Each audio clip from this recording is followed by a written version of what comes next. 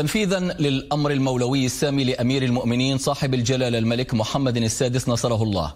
أقيمت صباح اليوم بالمسجد الأعظم في الرباط صلاة الاستسقاء بحضور صاحب السمو الملكي ولي العهد الأمير مولاي الحسن وصاحب السمو الملكي الأمير مولاي رشيد. وذلك إحياء لسنة النبي المصطفى سيدنا محمد صلى الله عليه وسلم كلما قل وانحبس المطار عن الناس واشتدت الحاجة إليه.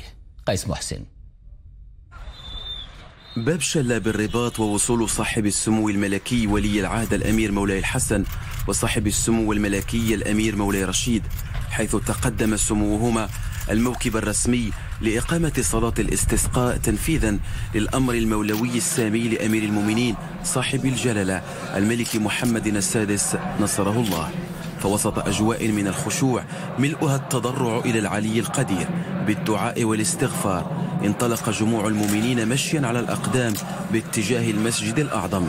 متضرعين للباري جلت قدرته بالدعاء والاستغفار ومرددين دعاء الاستسقاء. اللهم اسق عبادك وبهيمتك وانشر رحمتك وأحيي بلدك الميت.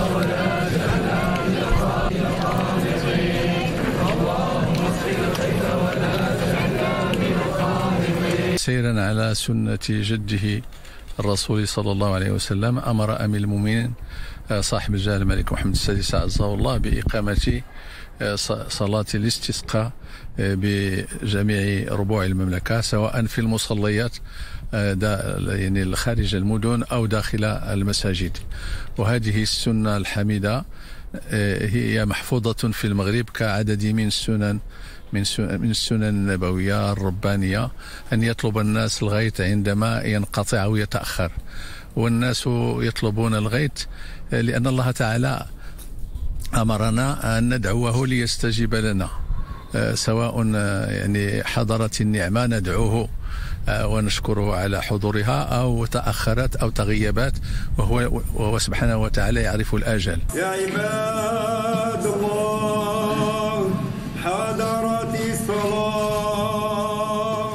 وبالمسجد الأعظم بالرباط أدى صاحب السمو الملكي ولي العهد الأمير مولاي الحسن وصاحب السمو الملكي الأمير مولاي رشيد صلاة الاستسقاء. والتي دأب المسلمون على إقامتها كل من حبس المطر استدرارا لرحمة الله وجوده وعطائه واقتداء بسنة رسول الله محمد صلى الله عليه وسلم.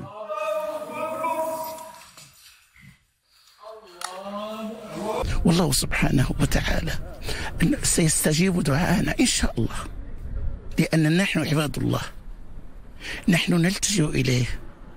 نحن ندعوه سبحانه وتعالى وحده وهو القائل وإذا سألك عبادي عني فإني قريب أجيب دعوة الداعي إذا دعان فليستجيبوا لي وليؤمنوا بي لعلهم يرشدون. نستغفر ربنا في هذا الصباح. وندعوه سبحانه وتعالى ونصلي صلاة الاستسقاء كما صلىها نبينا محمد صلى الله عليه وسلم. هذا الدعاء الذي سنقوم به اليوم هو دعاء للتضرع والتفضل إلى الله عز وجل لكي يرزقنا بأمطار الخير.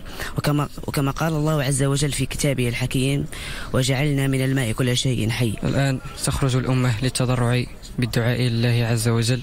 ليمطر علينا أمطار الخير وليذهب عنا البأس. ففي هذا الدعاء إن شاء الله سيكون خير إن شاء الله.